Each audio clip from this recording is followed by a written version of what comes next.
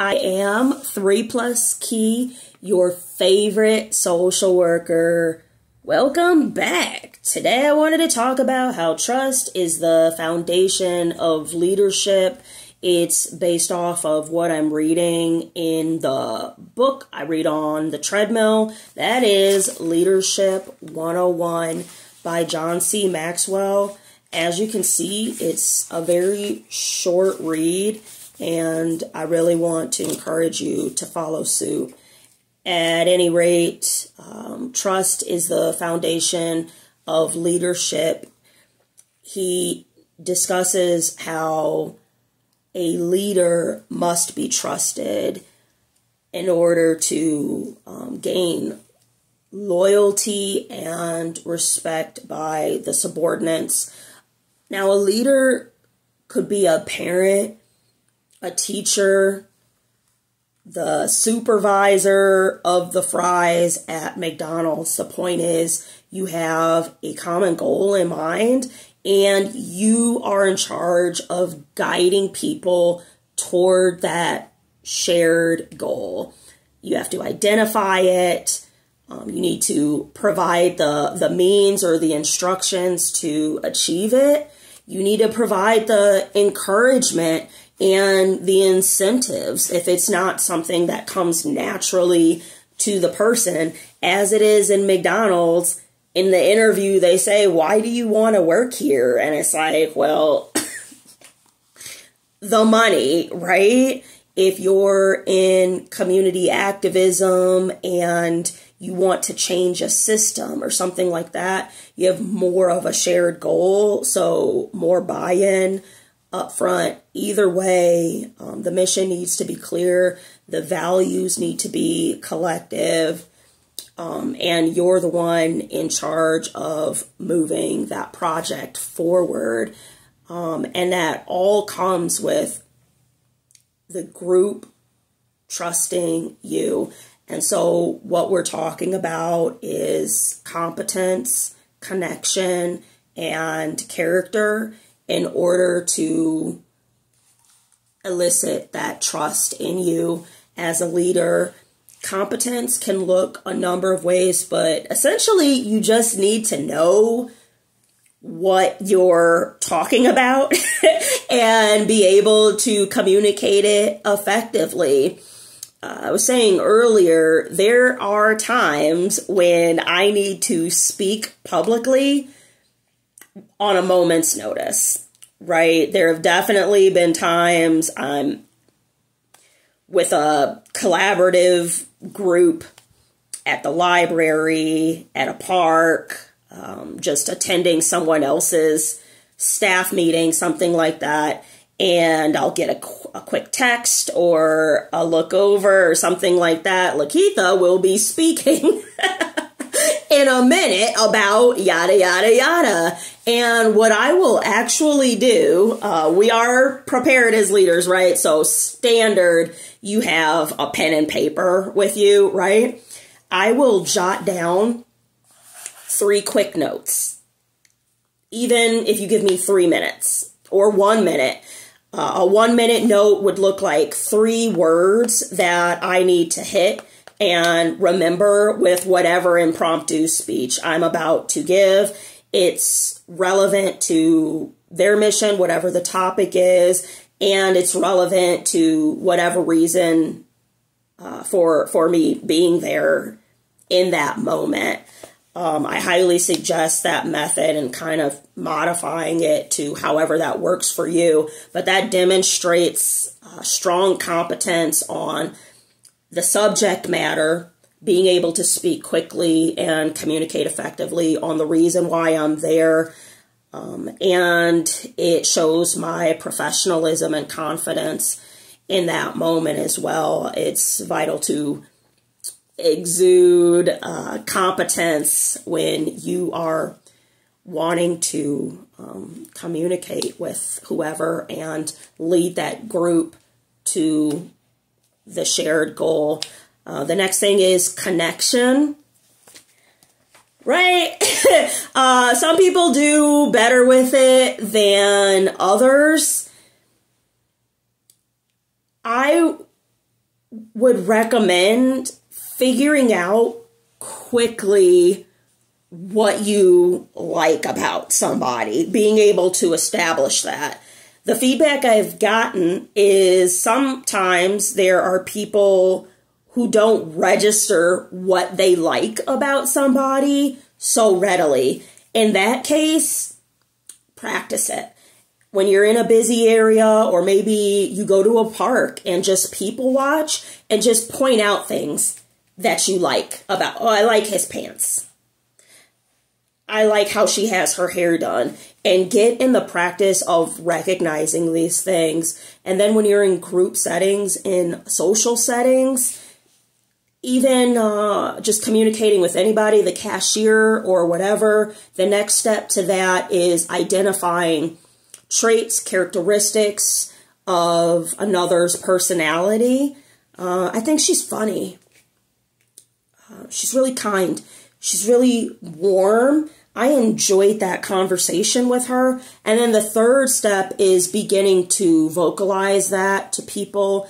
Um, what I've personally noticed is any observation of another person, people tend to appreciate. So sometimes it's physical. I would lean toward staying away from that in a professional capacity. Uh, but gauge it, right? If a guy is wearing a tie that has a 3D pattern on it, he clearly wore that um, and wouldn't mind a favorable observation about it, right? Um, I have children, adult children, and I tend to talk to other women about the children in their lives, be it their own biological children, adoption, as are mine, um, nieces, nephews, neighbors, that kind of thing. Typically, you know, we like kids.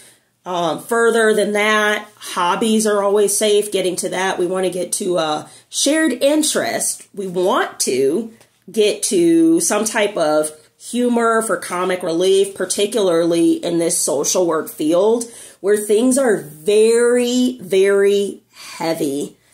Um, so initially that connection should be something lighthearted with clients. Do want a fair amount of relatability without too much disclosure.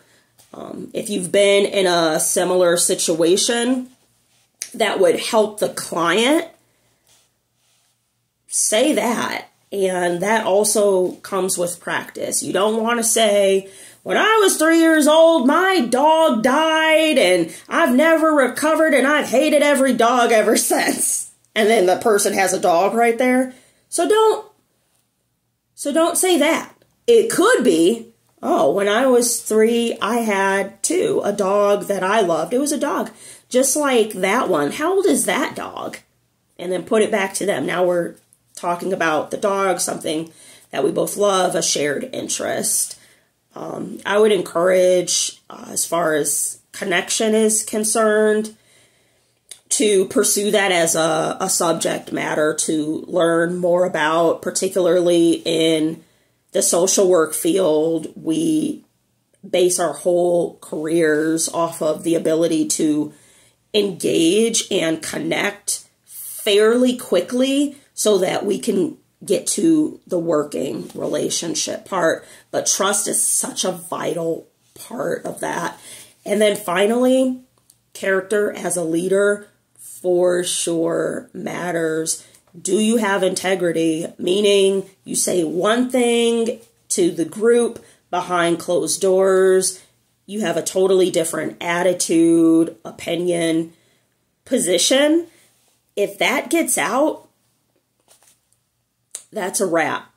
Um, you want to operate in fairness, respect.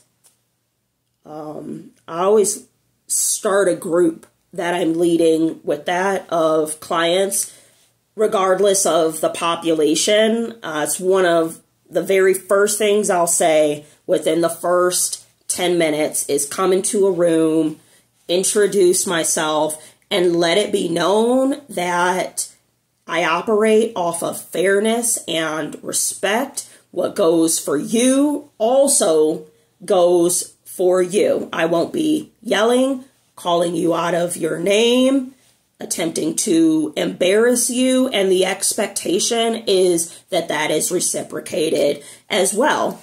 Further, in this speech, right? Um, if I do any of these things, I disrespect you or do not act in fairness, I am open to being called out on that. And that's how serious I am of upholding that for me and for you.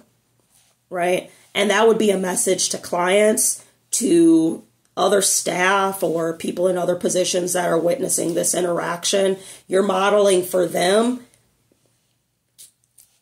how that should be. That should be standard company culture. Fairness, respect. We operate in integrity. We are honest to a fault. Even calling it out. This might burn me. I might be the jerk here, but honesty. With couth, of course. Honesty without love and tact, uh, you know, you could argue what's the point? Was it received, the messaging that you were attempting to give? So, honesty, fairness, respect, integrity, character matters. Always do the right thing. Um, others are witnessing your behavior. So, um, those are the ways that you elicit trust from others as a leader. Again, that's competence, connection, and character. The foundation of leadership is trust. Again, this is coming from Leadership 101 by John C. Maxwell. My name is 3 Plus Kei. I am your favorite social worker, always encouraging you to pursue the smile. How do you do that? By prioritizing these three things. Number one, the Lord. Number two, physical health. Number three, persistent education. Please subscribe to this channel, like this video, comment below other leadership traits and tips that you have. Um, and I will talk to you later.